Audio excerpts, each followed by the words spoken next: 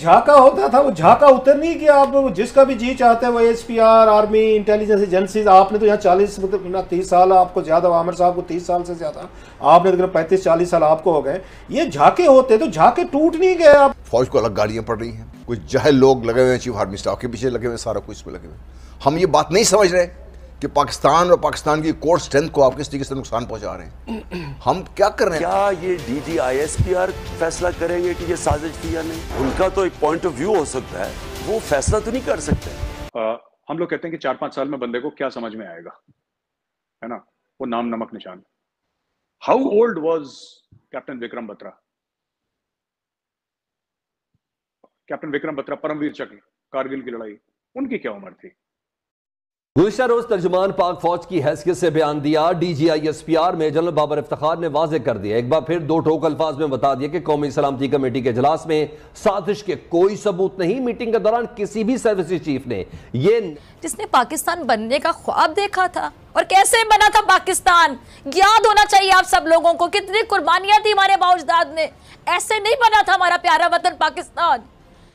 तो दोस्तों, आपने इस वीडियो में छोटी छोटी क्लिप देखी, एक चीज़ समझ में आ गई होगी आपको कि पाकिस्तान में पाकिस्तान में जो इमरान खान के सपोर्टर्स हैं और इमरान खान है या इनके जो मंत्रीगण हैं, वो खुलकर पाकिस्तान आर्मी के ख़िलाफ़ ऐसे ऐसे बयान दे रहे हैं जिससे एक चीज़ समझ में आ गई है कि इन्होंने पाकिस्तान आर्मी को भी ये बोल दिया है कि ये बिकाऊ है, अमेरिका के हाथों बिक गई है। अब पाकिस्तान आर्मी का जो D G I S P है, क्लियर कर रहा है बार बार आकर कि भाई हमें मत घसीटो इस चीज़ में।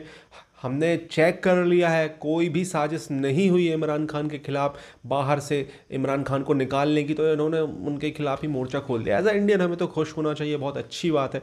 वहीं दूसरी ओर मेजर गौरव वारे एक्सप्लेन कर रहे हैं किस तरीके से भारतीय आर्मी के जज्बे को, भारतीय आर्मी में कितनी यंग एज में कितने सारे लोगों ने परमवीर, महावीर चक्र हासिल किए हैं। पहले ये वीडियो देखते हैं, फिर वीडियो के लास्ट में करते हैं इस टॉपिक पर डिटेल में बात। बजट है कई लोग ये कह रहे हैं कि बेसिकली ये जो जो अग्निपथ स्कीम इंट्रोड्यूस कराई जाएगी बेसिकली तो इंडिया और क्योंकि बहुत सारा पैसा तो वो सैलरीज में चला जाता है तो वो रिसर्च एंड डेवलपमेंट में नए इक्विपमेंट खरीदने के लिए और वो जो फौज को आइंदा, जो फ्यूचर में फॉर एग्जांपल वो जो टैक्स सेवी फौज है, उसको बनाने के लिए आपको इस तरह के लोगों की ज़रूरत है। तो आप क्या समझते हैं, ये इतने बड़े मसाइल हैं कि चलो, हमारे फाइनेंशियल मसले तो हमारे आपसे आपसे लेकिन आप क्या समझते हैं, ये क्या मसला पैसा है पेंशन एंड सैलरी है या मसला ये है कि कि एक नए किस्म के लोगों को यंग लोगों को रिक्रूट करना जो टैक्स से भी माइंड रखते हो और उनको और फ्यूचर वॉरफेयर की तरफ़ लेके जाना। व्हाट डू यू थिंक मुझे ऐसा लगता है कि Cheema sahab it's a mix and match of everything जैसे आपने बताया कि इंडिया का डिफेंस बजट अराउंड 75 बिलियन हमसे दस गुना ज़्यादा है अमेरिका का। 700 साढ़े सात सौ बिलियन हमसे बिल्कुल दस गुना ज़्यादा अमेरिका का है। पर अमेरिका भी ये चार पाँच साल के लिए लेता है सोल्जर्स को। और ऑफिसर्स को भी लेता है चार पाँच साल। अमेरिका को तो फिर कोई मसला होना नहीं चाहिए और अमेरिका की फौज जो है वो इंडियन आर्मी से छोटी है। The American army is far smaller than the Indian army आठ नौ लाख की होगी। हमारी तो फौज तेरह लाख की है। तो उनकी तो फौज हमसे सिर्फ़ सिक्सटी परसेंट है सिक्सटी सेवेंटी परसेंट है। हमारी फौज उनसे बड़ी है, लेकिन it is still suppose to be the most powerful army you you know we are not powerful because हमारे पास ये ये हथियार हैं एस फोर हंड्रेड है और ये वेपन नहीं नहीं, ये नहीं। ये तो हार्ड पावर हो गया। बट लड़ाई जो होती है ना, लड़ाई मोरालिटी से होती है। लड़ाई अपने ट्रेडिशन और इथॉस से होती है। And without its tradition and ethos there is no Indian army फिर वो सिर्फ़ एक खोखला सा स्ट्रक्चर है। इंडियन आर्मी का मतलब ही ट्रेडिशन और इथॉस है। हमारा डीएनए ही वही है। हथियार आएँगे, जाएँगे। मुझ जैसे लाखों बंदे आए, लाखों बंदे चले गए, जिनका नाम कोई याद नहीं रखता। नाम नमक निशान वहीं पर खड़ा हुआ है। लेकिन मैं छोटा सा एग्ज़ाम्पल देता हूँ, जो इस चीज़ को पॉइंट आउट कर रहे हैं। और वो जो पॉइंट आउट कर रहे हैं again all all respect to them मेरे सीनियर्स हैं वो। लेकिन मैं ये कहना चाहता हूँ ना चीमा साहब की uh, हम लोग कहते हैं कि चार पाँच साल में बंदे को क्या समझ में आएगा है ना? वो नाम नमक निशान। How old was captain Vikram Batra captain Vikram Batra Param Vir Chakra Kargil की लड़ाई उनकी क्या उम्र थी? How how old was lieutenant Manoj Pandey क्या उम्र थी उनकी? राइफलमैन संजय कुमार, परमवीर चक्र कारगिल उनकी कितनी उम्र थी? ग्रेनेडियर योगेंद्र सिंह यादव, क्या उम्र थी उनकी? ये जितने भी आप परमवीर चक्र देख रहे हैं, जितने भी, उसमें से हैं कुछ जिनको थर्टीज में मिला, ऐसी बात नहीं है। लेकिन उसमें से ज़्यादातर ऐसे हैं जो अर्ली ट्वेंटीज में थे, कुछ तो अपने टीन्स में थे। कुछ तो अपने टीन्स में थे। अब एक बात बताइए, जो काम चीमा साहब जो काम कर दिया ग्रेनेडियर योगेंद्र सिंह यादव जी ने, ठीक है, जो उन्होंने काम कर दिया। उन्नीस साल की उम्र में उनको परमवीर चक्र मिला, है ना? उन्नीस साल की उम्र में मैं कॉलेज के कैफेटेरिया में टेबल पर तबले बजा के समोसा खा रहा होता था। मैं, अरे, आप you come to think of it ऐसा नहीं है। ये जो नाम नमक निशान की आपने बात करी, बड़ी I am very happy Cheema sahab, कि आपने ये बात देखिए, नाम नमक निशान जो चीज़ है ना this is intrinsic to the Indian army ये फौज से नहीं निकल सकती, इसके बिना फौज कुछ नहीं है। We are about honour loyalty tradition courage strength faith ये ये ये कोई भी फौज हो इंडियन आर्मी नहीं, कोई भी फौज हो, आप उससे निकाल दोगे, वो खत्म हो जाएगी फौज दैट्स इट और ये कहीं चीज़ नहीं जा रही। और फिर मैं कह रहा हूँ ना, आप और, मैं आपको दस एग्ज़ाम्पल और दे सकता हूँ ना।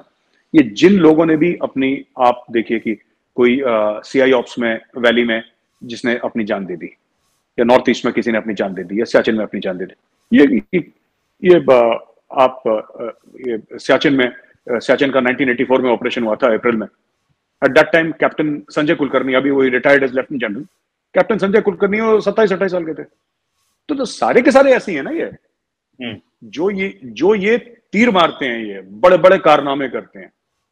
आपका कारगिल में निशान हैदर मिला था कैप्टन करनैल शेर खान। आप you know his story captain Karnail Sher Khan. और इंडियन इंडियन आर्मी भी मानती है कि हाँ अपने नाम पे पक्का उतरा है वो। उसके माँ बाप ने नाम शेर खान रखा तो शेर था वो। ठीक है वो लड़ा। उसकी क्या उम्र थी? मेरे इमीडिएट सीनियर थे एकेडमी में आर्ची सर आ, आ, आ, major Padmapani Acharya.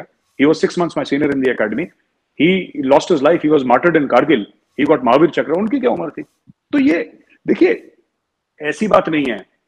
जो जिसका होता है ना हम्म। जिसको बुलावा आता है ना उसको फिर बुलावा आता है वो बुलावा उसको साढ़े सत्रह साल की उम्र में भी आता है और जिसको नहीं आना होता ना वो पैंतालीस साल की उम्र में भी नहीं आता। तो that is what my personal feeling is सारी पॉलिसी तब्दील करके अमेरिकन के साथ मिल रहे हैं। अमेरिकन उनको अपना एलाइज बना रहे हैं तो हमें इस वक्त ये बड़े अहम मौके पे ये फैसला करना है कि हमारी दोस्ती हमारे एग्रीमेंट्स इंडिया से बहुत पहले के हैं। हमें उन्हें आगे बढ़ाना है और अमेरिका से फ़ायदा हासिल करना है। वो टेक्नोलॉजी में हो वो फाइनेंशियली हो लेकिन और सर देखा जाए तो भारत उससे फ़ायदा भी तो बहुत उठा सकता है। उठा रहे लेकर सस्ती सस्ता गै, सस्ती गैस लेकर बहुत ज़्यादा फ़ायदा उठा रहा है सर। नहीं इंडिया के पास तो देखें बहुत बड़ी मार्केट है। बिलियन ऑफ़ डॉलर्स की वो एक्सपोर्ट करते हैं अमेरिकन के साथ। तो हमारी एक्सपोर्ट तो बहुत महदूद है। तो हमें जिन चीज़ों की ज़रूरत है वो हम अमेरिका से ही हमें मिल सकती हैं। तो मेरा ये ख्याल है कि जो हम तो कर रहे हैं कभी रूस की तरफ़ कभी इधर तो ये सारे अमेरिका की तरफ़ से ही हमें वो सारी चीज़ें मिल जी हमें मिल सकती हैं मिलती रही हैं। ठीक है जनरल साहब कुछ कह रहे हैं। जनरल साहब आप इनकार में सर हिला रहे हैं। कोई इख्तलाफ है आपको? देखिए दो तीन चीज़ें हैं। ये जो पहले हम बात कर रहे थे बेसिकली इससे पॉलिटिकल बयानिया है जो पीटीआई का है। उसको पॉलिटिकल ही कॉन्टेस्ट करना चाहिए और पीडीएम को कॉन्टेस्ट करने की ज़रूरत है। इसके बगैर उनकी गुजारा नहीं होगा नंबर एक। नंबर दो मैं सौफत इस बात से एग्री करता हूँ हमने कभी किसी बात ये नहीं कहा कि हम अमरीका को तलवार लेके तो अमरीका पे चढ़ दौड़े नहीं कर सकते हम ये चीज़। हम्म। उनसे हम मुखासमत नहीं ले सकते। लेकिन हम अगर हमें यह गलत फहमी है कि किसी किसी अमरीका पाकिस्तान के साथ आके खड़ा हो जाएगा और भारत के मुकाबले में जब भी तो दोस्तों, ये वीडियो यहाँ पर होता है खत्म। मेजर गौरव आर्या जो बात कर रहे थे, आप समझ सकते हो, मेजर गौरव आर्य ने बताया कि कितने सारे लोग हैं जिन्होंने मतलब कम एज इस कम एज में और परमवीर चक्र हासिल किए हैं। आपको पता है कि इंडियन आर्मी के कौन कौन से हाईएस्ट सिविलियन अवार्ड होते हैं आर्मी के लिए? महावीर चक्र, परमवीर चक्र, ये सब आपने सुने होंगे। तो इसके बारे में तो मुझे आपको बताने की ज़रूरत नहीं है, क्योंकि मुझे भी अगर मैं अभी कुछ ऊपर नीचे बोल दूँगा, क्योंकि मैं भी भूल रहा हूँ कुछ कुछ तो ये बात तो आपने मेजर गौरव आर्य के मुँह से सुनी। बात हो रही थी यहाँ पर पाकिस्तानी मीडिया, अब रॉफ क्लासरा जैसा बंदा खुलकर बोल रहा है कि भाई, खुलेआम पाकिस्तानी आर्मी के खिलाफ इतना बोला जा रहा है, ऐसा पिछले तीस साल में मतलब उन्होंने पहली बार देखा है कि पाकिस्तान आर्मी के खिलाफ खुलेआम ऐसा नैरेटिव सेट किया जा रहा है। वो भी पाकिस्तान की अभी जो करंट सबसे बड़ी पार्टी है, भले उसके अभी मतलब वो करंट मतलब उसका पीएम नहीं है, लेकिन सबसे बड़ी पार्टी है इमरान खान की। तो समझ सकते हो आप इमरान खान की पार्टी के सपोर्टर किस तरीके से इनका मतलब एक नैरेटिव सेट हो चुका